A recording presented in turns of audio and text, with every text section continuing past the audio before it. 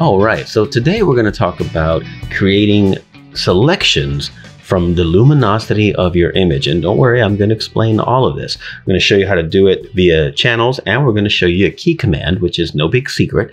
But I really want to push the key command on this one and a couple other key commands, because when you start memorizing these things, these functions don't become as esoteric as they may seem. You just quickly do it and you roll along. Today's focus on the different images that we have, we're going to talk about the different benefits of protecting highlights quickly. Sometimes you want to protect highlights manually, but we're going to protect them very quickly to get different results um, and to get more pleasing results in some cases. But let's start with what the heck is selecting the luminosity of your image.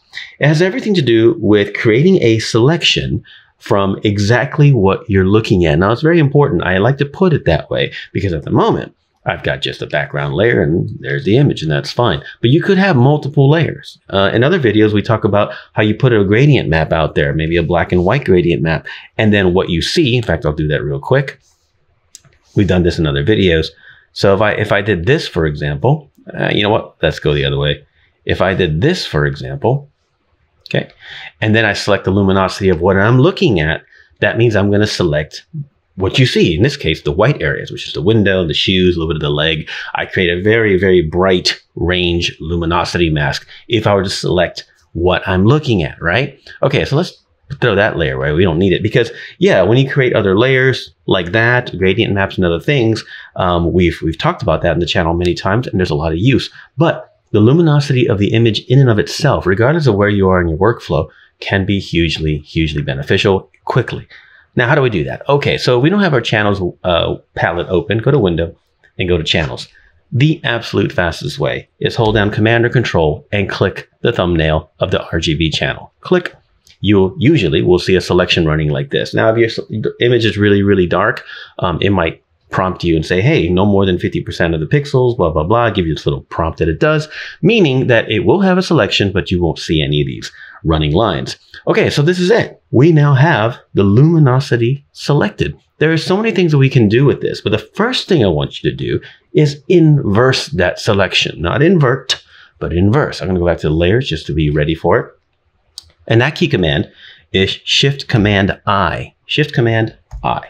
What does that mean? That means I've selected the inverted version of the selection, okay? By taking the active selection and inversing it now I have an inverted selection. Now, what can I do with this? Okay, well, let's understand what I have first of all. What I did by selecting the luminosity, let's walk you through it, okay?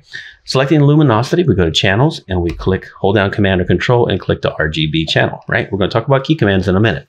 All right, now let's, uh, let's visualize this, right? So one way that we can visualize it is with the selection running, let's put a, select, a solid color out. We're gonna make it pure white. You can already see kind of where we're going. Underneath that, I'm gonna put a solid color of black. There you go. So what does that mean? That means that the white area is masked out with the uh, actual, you know, luminosity of the image, right? The white layer. So there you go. You can see that I've created a black and white version of the image in kind of a cool way, but that's because I selected the luminosity of it, right?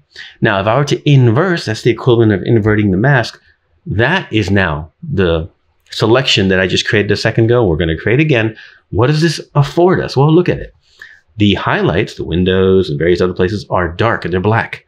Okay, so that's going to protect those highlights immediately, right? Anything dark is going to be protected. Anything lighter or white is not, right? So therefore, we can do different things with that. For example, bear with me. I know this could be confusing. Now we talked about key commands. Instead of going back to channels and holding down command or control and clicking RGB, we're going to do option command or option control two, option command two. That automatically gets us a selection of what we're looking at. Okay, so there it is. We have a selection running. Now, another key command, Shift Command I. Now I've got the inverse of it, right?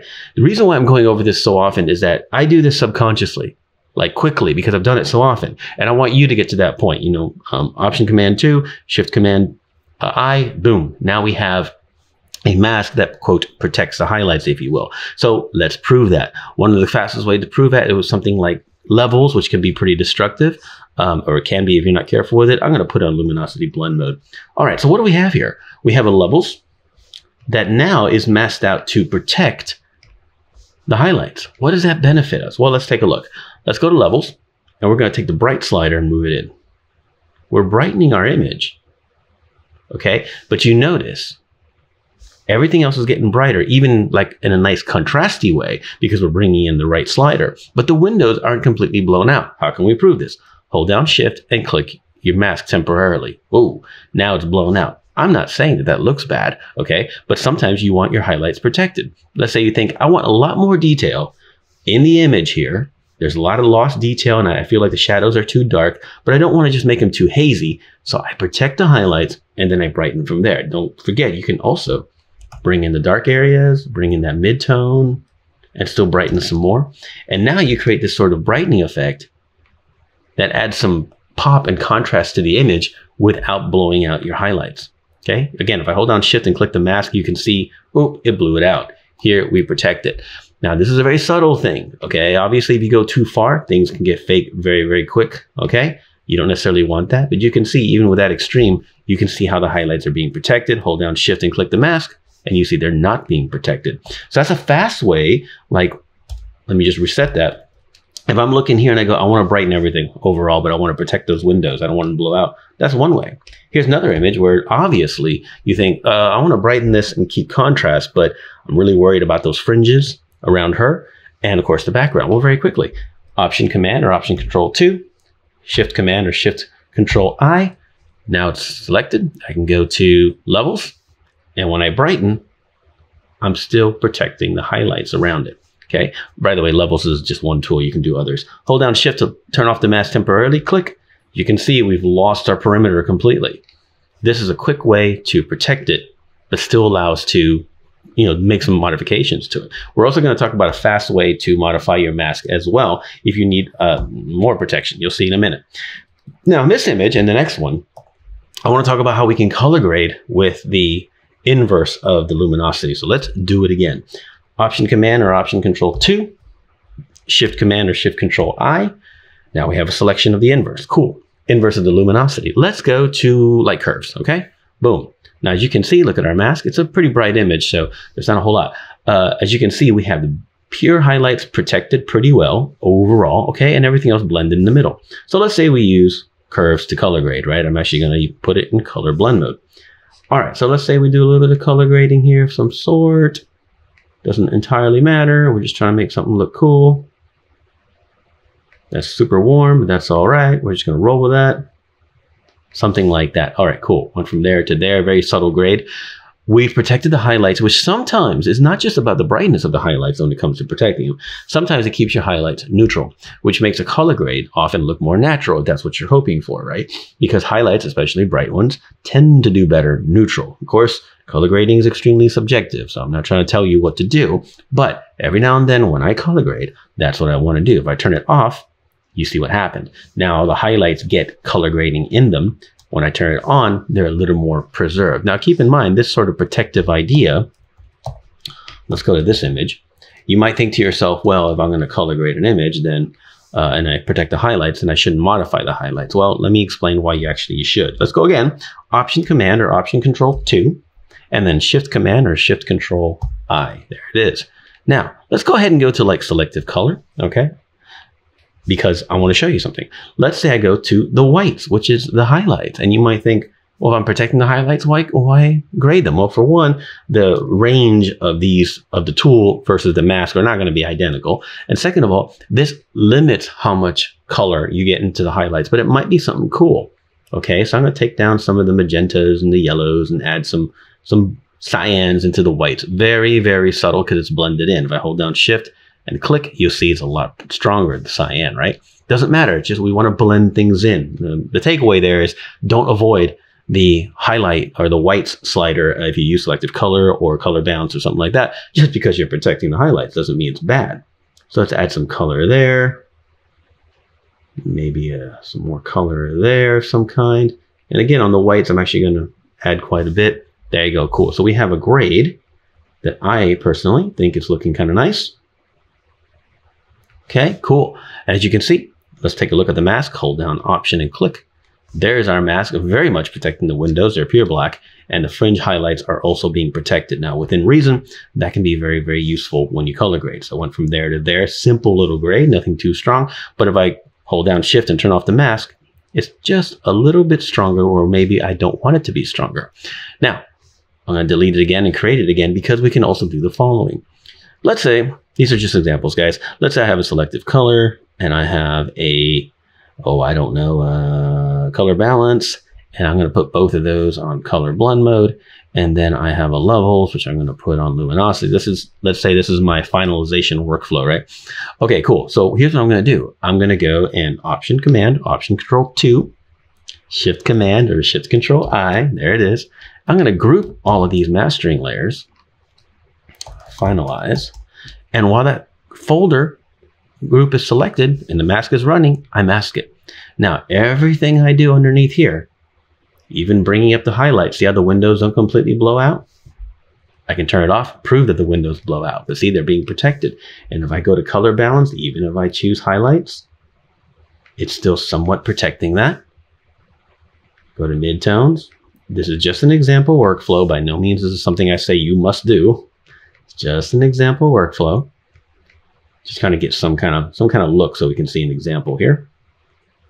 Okay, something like that. Cool. Everything now that we're doing preserves those highlights and it also blends in the color work a little more naturally into the shadows and less and less into the highlights. Again, meaning that our highlights tend to stay neutral. You should experiment with this because every now and then it can make color grading more satisfying, if you will. Now, not always, not always, but sometimes it gives you the exact pop that you need without ruining your highlights. Okay, so if I hold down shift and click, you'll see now that image is a different feel. It's not necessarily not saying that it's wrong, it's just a different feel, right? As opposed to this, which protects uh, the highlights, not just the brightness of it, but the grade itself, right?